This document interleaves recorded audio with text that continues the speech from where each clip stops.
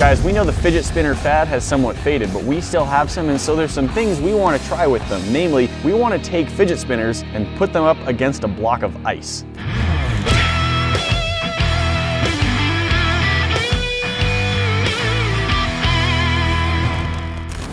I don't mean leaning up against a block of ice. I don't even mean throwing them like ninja stars at a block of ice, although it does sound kind of fun.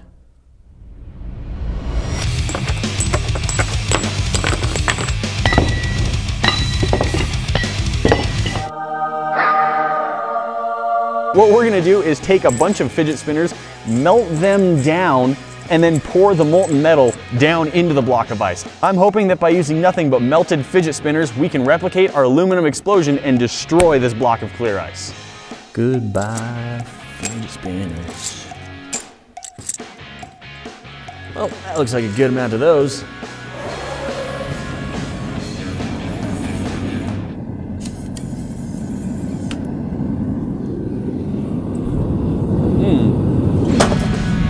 While our fidget spinners are melting in our foundry, let's prepare our ice to receive the molten metal.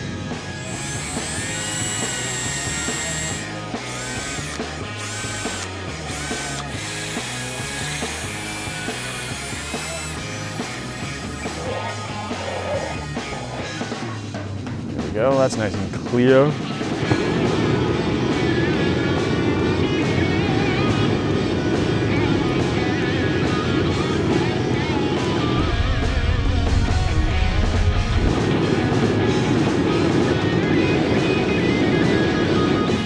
Give our holding container a couple of minutes over the fire so it's not cooling off our crucible too quickly.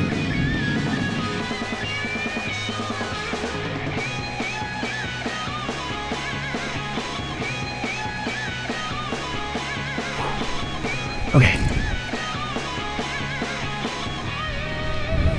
Three, two, one.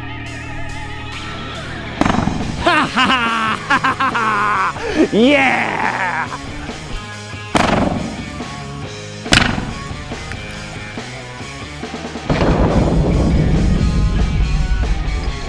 There's just a blob of superheated aluminum inside our block of destroyed ice. That looks amazing.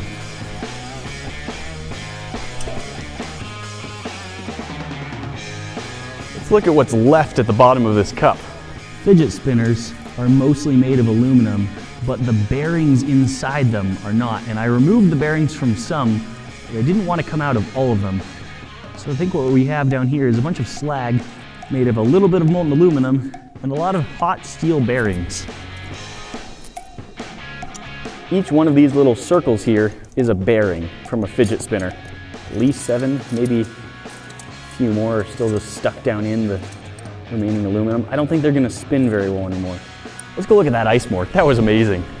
Okay, so Right here, there's still, this is the mark from the drill bit when I drilled the hole down into the block of ice. So when the aluminum went in there and it exploded, it like exploded sideways and sheared everything off. But you can still see the little point where the drill bit made its mark. So it didn't explode down like at all. It just exploded sideways. And all of our aluminum melted its way down through the block of ice. Well, not the block of ice anymore, the remaining shards of ice. Ooh, melted through our cord.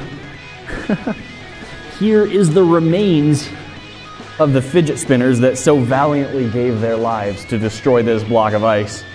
Uh, I'm not sure which one is worse off, the block of ice or the fidget spinners. They're both pretty much gone and unrecognizable. Guys, we've got a bunch of these King of Random branded fidget spinners in six different varieties. Rather than melting them all down, we are giving them away. All you have to do is pay for shipping. Guys, the fun's not over. There's still more for you to see. That little box up at the top will transport you directly to our last video.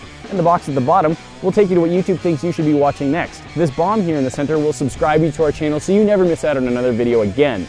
Don't forget to ring that bell and we'll see you in the next one. Talk to you then.